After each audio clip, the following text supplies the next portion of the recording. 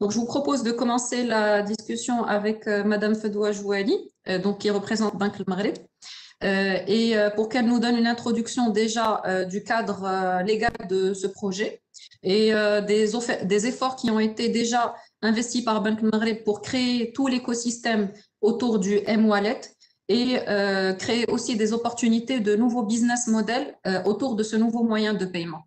Madame Jouali, je vous laisse la parole. Merci beaucoup.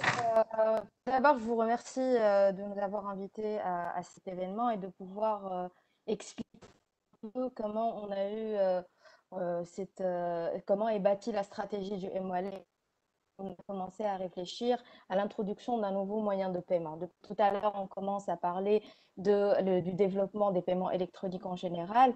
Donc, euh, le paiement électronique et son développement a été quelque chose euh, qui faisait partie des développements, des orientations stratégiques de Banque depuis son premier euh, plan stratégique. Donc, on a commencé à bâtir les systèmes de paiement nécessaires euh, au développement de l'écosystème. On a commencé à mettre les bases euh, légales et réglementaires. Et par la suite, il y a eu en fait euh, toutes les bases nécessaires pour un développement sain de, ces moyens de paiement. Donc, pour des soucis à la fois de développement pour suivre l'innovation, mais aussi d'inclusion financière, nous avons réfléchi pour la mise en place de cet écosystème. Donc en 2016, il y a eu euh, tout un travail qui a été fait à la fois avec la Banque centrale euh, et le régulateur des télécoms, l'ANRT, mais aussi avec l'ensemble des acteurs du, de la place, donc les banques, mais aussi le CMI qui était l'acquéreur et le, switch, le switch monétique pour voir comment on pourrait capitaliser sur les infrastructures de pour ne pas avoir à réinventer la roue et voir comment on pourrait capitaliser sur nos infrastructures. Par la suite, plusieurs études ont été mises en place. Donc aujourd'hui, on a le M-Wallet qui est un nouveau moyen de paiement qui est adossé soit sur un compte bancaire, soit sur un compte de paiement. C'est-à-dire même les personnes qui n'ont pas de compte bancaire ou qui ne souhaitent pas ouvrir un compte bancaire peuvent ouvrir un compte de paiement auprès d'établissements de paiement. Donc, à partir de 2014, la nouvelle loi bancaire a permis euh, à des établissements non bancaires d'ouvrir à des personnes des comptes de paiement à différents niveaux, soit capés à 200 dirhams, 5000 dirhams ou 20 000 dirhams, des comptes de paiement qui vont leur permettre, à partir de ce compte, de se doter de ce M-Wallet-là. Donc, à partir de ça, on a commencé à réfléchir quelles sont les, les, manières les plus faciles pour pouvoir utiliser ce nouveau moyen de paiement. Euh, il est euh, relié à un numéro de téléphone, il permet de faire des transferts et il permet de faire des paiements chez le commerçant. Donc, ça, c'est un peu la partie technique. Par la suite, on a commencé à voir quel est l'écosystème qui va avec. Donc, l'écosystème qui va avec, il faudrait avoir les usages, mais aussi il faudrait avoir le commerçant des paiements. Donc, on a travaillé sur la partie commerçant en faisant la différence entre le commerçant de proximité et entre la grande distribution, et donc euh, entre les distributeurs. Et c'est là où, a commencé, dès le départ de ce projet-là, à faire des travaux de syndication.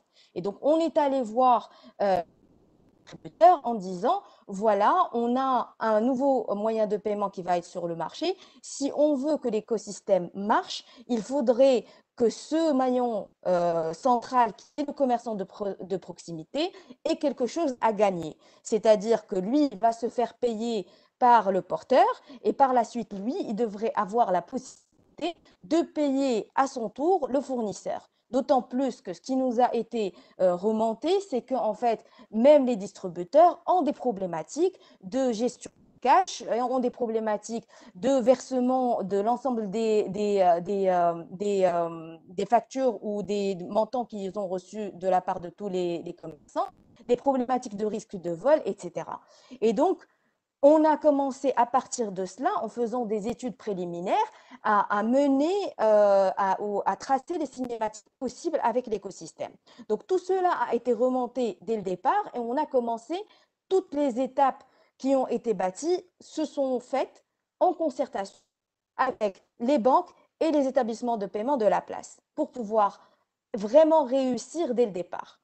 Donc, parmi les principes aussi du M-Wallet, c'est que on a travaillé de façon à ce qu'il soit dès le départ interopérable euh, grâce à cette infrastructure centrale et qu'il soit instantané. C'est-à-dire que ce commerçant quand, il va se faire payer ou quand il va payer son fournisseur, va se faire payer sans attendre euh, la, soit euh, attendre qu'il soit payé, c'est-à-dire qu'il a a sa gestion de caisse et il reçoit son cash de façon instantanée et qu'il est sûr que le porteur qui est devant lui euh, va pouvoir le payer. Donc, c'est similaire au cash parce que à chaque fois qu'on avait des réunions avec les commerçants de proximité, ils, nous disaient il faudrait trouver un moyen de paiement qui est qui serait, qui serait vraiment similaire à l'utilisation du cash.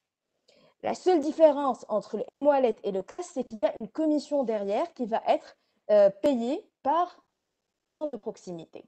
Pour cela, on a proposé aux établissements de paiement qu'on a un système qui pourrait aussi intégrer les commerçants de proximité en tant qu'agents détaillants pour ces établissements de paiement. Et donc, les établissements de paiement peuvent proposer demain à ces commerçants de proximité non seulement d'être leur agent, euh, leur euh, commerçant acceptant, mais aussi leur agent détaillant. C'est-à-dire qu'il va représenter leur établissement de paiement et qu'il va jouer ce rôle de faire et cash out au profit de leurs clients. Et donc, on pourrait leur donner une valeur ajoutée par rapport à cela. Autre chose qu'on va aussi travailler sur ce maillon central, c'est qu'on doit travailler sur deux incitations. Une incitation fiscale et, une, et des incitations commerciales. Une incitation fiscale, on a travaillé euh, tout au long de ces années euh, pour pouvoir convaincre la DGI à avoir un moratoire euh, de 5 ans, c'est-à-dire que sur les 5 années à venir, bah, en fait, le chiffre d'affaires va être exonéré du chiffre d'affaires qui est réalisé avec le paiement mobile va être exonéré de, de, de, de l'impôt.